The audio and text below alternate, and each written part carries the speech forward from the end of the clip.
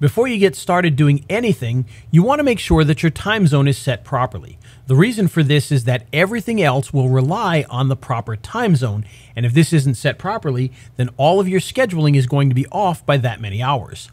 By default, your settings are going to be at 0 UTC, which is the time zone in London. So simply click the drop down, choose your proper time zone, in my case, Eastern Time. And now everything that you do will be set properly so that you don't have issues as you start to create schedules.